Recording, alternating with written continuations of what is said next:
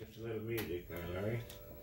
You know what, really, when I first saw this guitar, this was 30 years ago or more. Yeah. As I saw this right here, Yeah. that screw Mm-hmm. countersunk, that's an early, or an earlier Bigsby. Yeah, it is. And that's like the uh, Chet's Gretsch, the dark eyes, Yeah. the black 6120 that people call dark eyes. That's right. I remember seeing that. I uh, thought I, his dark eyes guitar had a had a Bigsby of this vintage, yeah, and that would have been 56 yeah, when his was made. right, And this is a 58. yeah. Yeah. I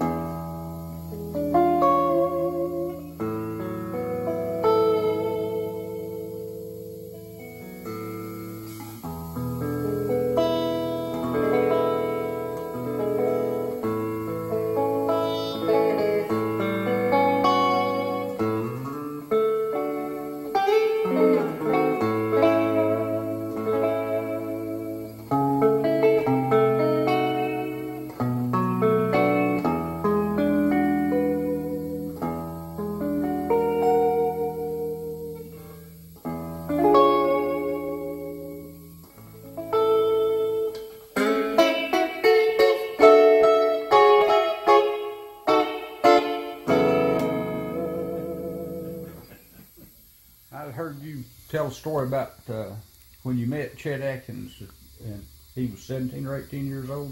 Yeah, um, yeah, he came to fishery school out here, and uh, he was traveling with uh, Bill Carlisle, Archie Campbell, and the Carlisles, and he's playing fiddle for them. And uh, Bill played a part called Hot Shot Elmer. And during the time that he was putting on his costume, Chet come out and played a, a couple tunes on the guitar. And I can't remember for sure, but I believe that uh, the, one of the tunes he played was Maggie. Mm-hmm. And uh, don't recall what the other, well, then Hot Shot came on the, he got dressed in his costume and come out, and Chet come down and sat down in the in the audience with us, and uh, Red Peterson, or lived here, or lived here in Erwin. He was sitting on the bench there, and uh, they're about the same age. I think it's uh, Red said there's about four days difference in their age. But he he came down and sat sat there and uh, got over from me, and uh, kind of hard to remember, but it, it seemed like it was in 42 or 43. I'm not for sure right now. And uh, the Chet was 18, about 18 years old. So uh, uh, it was a pretty interesting show, and he played real good then. Yeah. I thought Ron Hensley's dad was a principal at the school, and he was the one that got the Carlisles and Archie Campbell and Chet to come to the school I played. Hmm. And uh, he was always bringing in uh, entertainment, uh, you know, for a little extra money for the school. Had uh, Bill Monroe, and that was back when Lester and Earl was with him, and he, he brought uh, uh, the Stanley brothers, Jim and Jesse, and he had Mac Wiseman there one time, and always when they had music like that, I always managed some way or another to go, and uh, didn't didn't cost much. So uh, I go see him, and uh,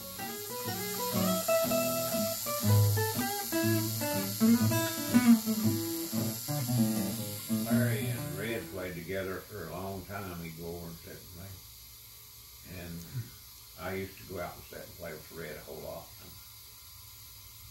Uh, about all the old boys is gone now.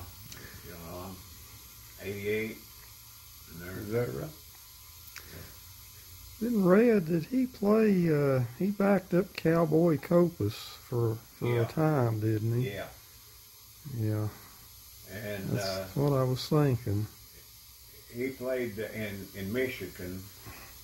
Uh, Red stayed up there for 17 or 18 years, and all the big stars had come through, you know, and he played backup for them. So Detroit. Yeah, Detroit.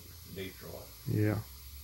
and uh, so uh, Baltimore, he was in Baltimore yeah, he- in the early he stayed in 50s. Baltimore for a year or two. Yeah. and uh, he he left that kind of uh, life just in order to save his life. You know, he said that you couldn't play in those bars, the clubs, stuff like unless you drank. You know, everybody else did. So, uh, Red just give it up and come home. And uh, he worked here around, worked for the city, and finally retired. And uh, the night he died, uh, he went over to Elizabeth to play, and he he called me and wanted me to go over with him, and I had something else to go do, and I don't know what it was now, but anyway, he went over, and uh, his brother Jim went with him. And Jim was telling me that he played the best that he'd ever heard him play and he come home that night and left his amplifier in the car, got his guitar out, went in the house and started walking down the hall, heart attack, died. And uh, so I don't remember what year that was. Sometime back. Do you remember? Yeah, I think it might have been around 2003, 2004. Somewhere around in there, yeah. So I remember Ray Hughes stopping by the house. Yeah. JR, remember him? Yeah, And telling me he was going over there that day, yeah, you know, to their, out on Willow Street, yeah. their home place. I remember Ray pretty well. He Yeah. I think it was 2003 or 4. Yeah. And uh, he, uh, Red was a good friend of mine. Mm. Liked him. But uh, uh, Ron Hensley and me was, we, we lived in Baltimore to get work in Baltimore, Maryland. I worked for the Martin Aircraft Company. And anyway, uh, he come by one day and said Chet's gonna be in Washington and uh, Washington D.C. and he said, uh, "Let's go over there." I said, "Okay." So we went over there and and uh, during the intermission, uh, Chet went backstage and Ron said, "Punch me," and he said, "Let's let's sneak our way back there." I said, "Okay." So we went back and Chet was sitting back there smoking a cigar, and uh, some woman that's traveling with him, I, I don't even remember her name, but uh, Ron just went up and introduced himself to Chet, and uh, so uh, uh, Chet reached over and got his guitar and handed it to Ron. And Ron sat there and played a tune. I don't recall the name of what the tune was now. Just everything was buzzing around for me. I didn't, you know. And I was talking to that woman there, and she said that I've traveled with Chet for a long time, and that's the first time I've ever seen him let anybody touch his guitar. And uh, he was impressed with Ron's playing. You know, he played black Chet. And uh, back then, when, when Ron was young, uh, he was a direct copy of Chet's old, older type of music, you know, his old, early stuff, you know. And uh, while I was talking to Chet there in uh,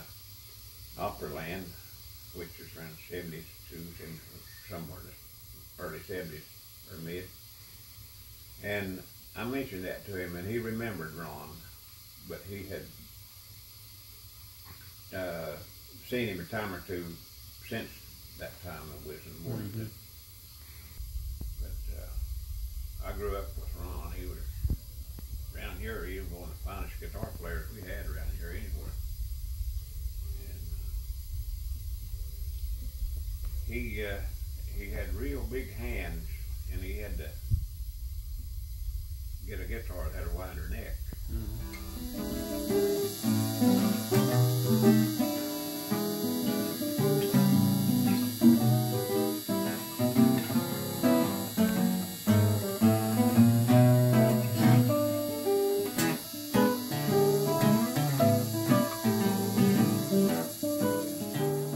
Gene Foster bought this guitar in 1958, and it's custom built. You had to send the money to them, and they build it and send it to you.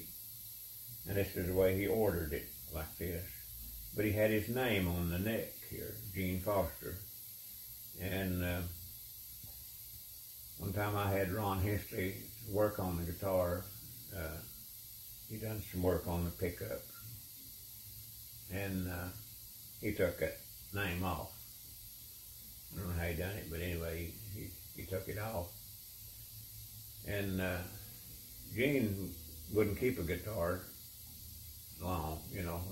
He sold it to my brother. And uh, my brother sold it to Jeter Peterson. And uh, Jeter was had a running a business down there, building supplies, and he's going out of business. And and uh, I went down there on a Saturday morning, and he was selling everything, whatever he could get out of it. And I bought a lawnmower from him, and uh, I knew he had this guitar, and I mentioned it to him, and if I ain't badly mistaken, he asked me, uh, it was a hundred and fifty or two hundred, somewhere around there. And uh, I told him, I said, I've got a hundred dollars in my pocket, and that's all I've got. And oh, he said, I can't stand that. I said, that, well, that's, that's it, Jeter. I, I don't have anything. That's all I got. And uh, I don't like to go debt. And uh, I started leaving. He said, come here. So I went back and he, he got the guitar and, uh, and the case that I've got with it was the case that Red had. He'd bought that first L5 and it, uh, it's all pieces. I mean, it was scratched up, the case was. And, uh, so Jeter put, put it in that case and, and gave it to me and I gave him hundred dollars for it and uh, and I've had it ever since. And uh, that was uh, 1961. My brother kept it uh, seven or eight months, you know, and, and he didn't uh, he didn't play it much or anything like that. He didn't. He played flat top all the time. But anyway. Uh, uh, he had sold it to Jeter, and then I, I bought it from Jeter. And uh, had it ever since. Uh, Yeah, I'll keep it. I'll keep it. well, this, Keepsake. yeah, it's uh, It's connected to all the all the Erwin boys back then, you know, yeah, all the Erwin pickers. yeah. They all knew about this guitar, You know, it's you know, and uh, uh, connected to the Erwin boys. The last that we went to uh, Weaverville, North Carolina. Ron was at that time was getting pretty sick, pretty feeble, and uh, he uh, he didn't bring his guitar, and I had I took this one along, and uh, he Doc had fifty guitars or more, and, and you know he was he's a collector, and uh, had them sitting around, and and uh, Ron said I didn't bring my guitar. He said, "Can I use to play yours?" And I said, "Well, sure, play it." And uh, we sat over there for a couple hours playing guitar, and Ron played this one, and and. Uh, that was the last time that Ron played any music. He uh, he had a stroke stroke right after that. And I went down. They took him down to Knoxville, and I went down to see him, and and uh, they that was on a Wednesday, and they said he's fine. He's gonna gonna make it over all right, you know. And I talked to him, and